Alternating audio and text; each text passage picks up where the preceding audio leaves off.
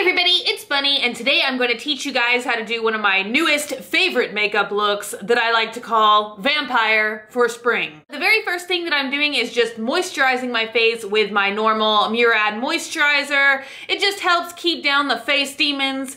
It's got salicylic acid in it. Next, I'm going through with the Benefits Stay Flawless 15 Hour Primer Stick. I just got this stuff and I just started using it, but I like it a lot. So I'm just priming all over my face in circular motions. Forewarning, this makeup is kind of bizarre. It's not necessarily an everyday thing.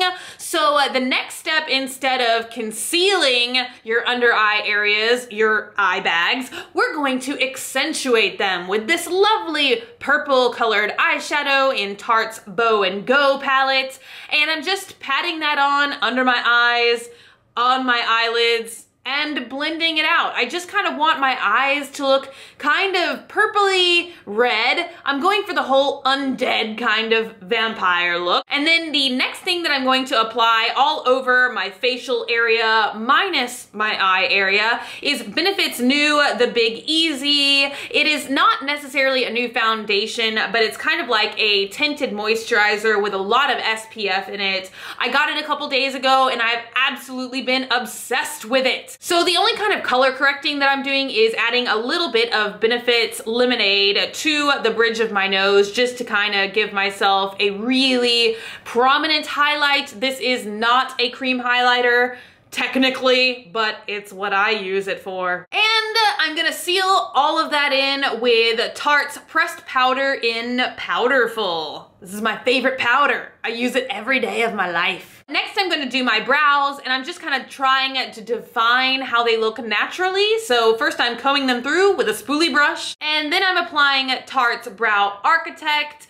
just to enhance them, define them a little bit. Then I'm going through and finishing them off with a little bit of Anastasia Beverly Hills Clear Brow Gel. Now I'm gonna start working on my eyes again and the very first thing I'm going to do is put on some eyeliner very close to my lash line. This isn't meant to be a thick line, but just a teeny tiny one. And I'm using Tarte Skinny Smolder Eyes in Golden Tiger's Eye. It's kind of a brownish, goldish, almost purpley color. And then I'm taking the sponge on the other side and gently smearing it just so it doesn't look absolutely perfect. So now I'm going to go on my under eye waterline. I never know what to call this area. And I'm dusting on some reddish eyeshadow. This is a prestige eyeshadow in the shade Blossom. Once again, this isn't necessarily for everyone or an everyday look, but I'm going for that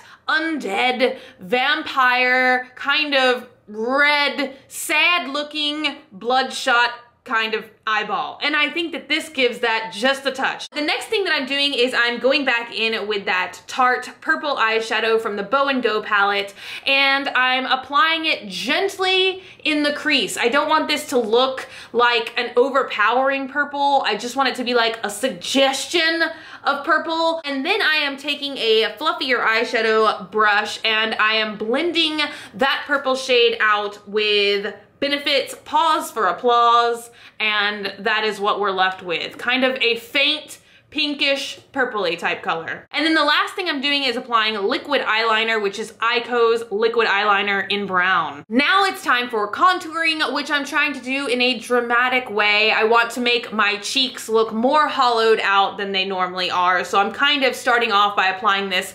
heavy-handedly just on the sides of my cheeks almost forehead level and then my cheeks and under my chin.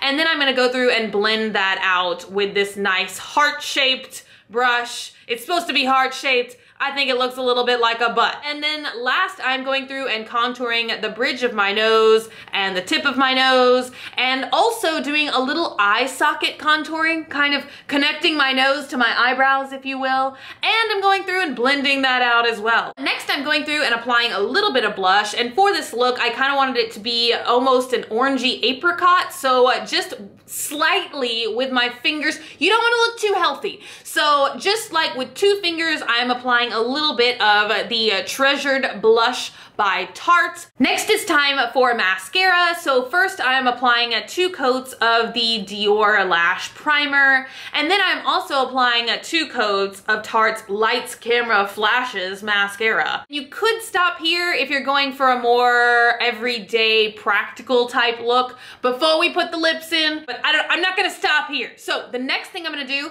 is apply a pair of half lashes, and I'm using my favorite, which is Barely There by Eco Tools. Very easy to put on, very comfortable, so that's what that looks like. There's my face. Do you like my face?